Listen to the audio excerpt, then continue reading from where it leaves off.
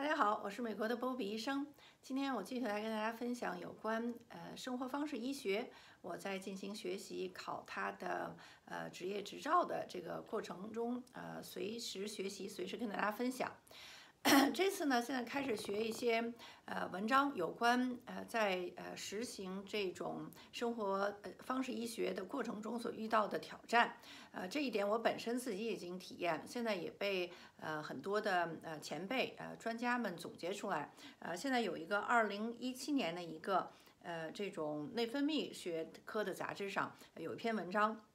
呃，他就是说，呃，在研究治疗呃糖尿病，甚至呃把糖尿病完全治愈，呃 cure，呃这个过程中，呃总结出来的经验，呃大家有的时候，呃至少我以前是这样认为，是糖尿病是不可治愈的，就是针对于二型性糖尿病的，因为一旦得上之后呢，是一个渐进性不断恶化，呃如果最好呢就是停止恶化，很多情况下都是不断恶化的一个过程。但是这篇文章呢，就是说因为二型糖尿病在很大程度上是由于生活方式所造成的，比如说饮食啊、运动啊、呃环境等等。呃，如果我们对这些进行呃干预，尤其是在我们的胰腺的。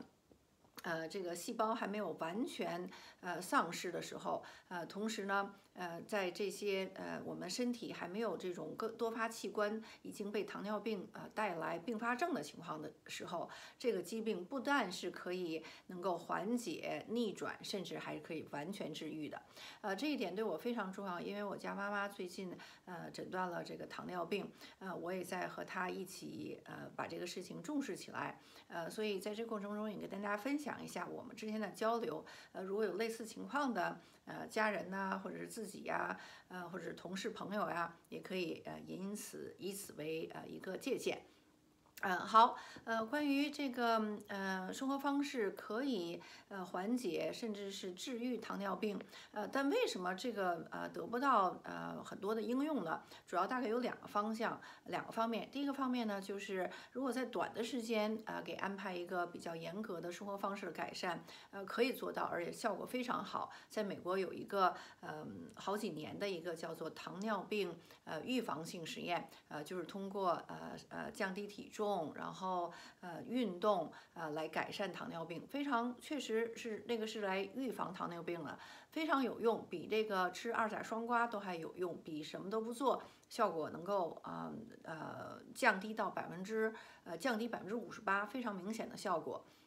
啊，但是呢，在长时间的情况下，如果一旦没有了这种大家在一起进行干预的这个呃呃努力的情况下，因为社会的压力啊、生活的压力，还有现在的这种商业的压力太强大了，所以很多人都不能把这种良好的生活习惯坚持下去。呃，如果能够有一个好的办法让大家坚持下去，这个就一定能成功。呃，还有第二点呢，就是现在的医疗的结构呢，都是还是以治病为呃能够得到。经济效益，呃，来呃来进行呃更多的呃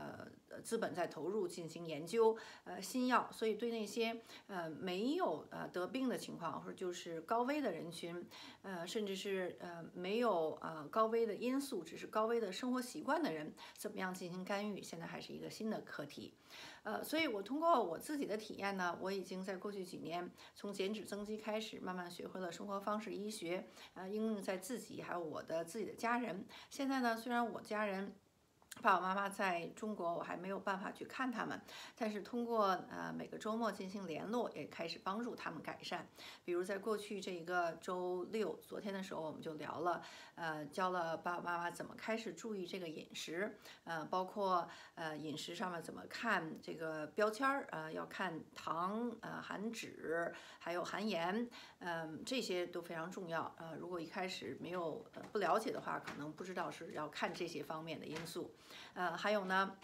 慢慢开始学什么叫做升糖，就是呃升糖值。比如，如果是呃同样的米饭，呃糙米饭，如果是做成粥的话，很快吃下去就呃非常容易消化，升糖就很快。呃，如果是米饭呢，就说就会好一些。呃，所以这些呢，我都开始和爸爸妈妈分享，希望能够帮助到他们。同时呢，也得到了他们一个病例，就是包括呃身高体重，呃呃体重指数，还有腰围等等。呃，如果大家也希望改善的话，希望也一起加入来改善。好，下次再见。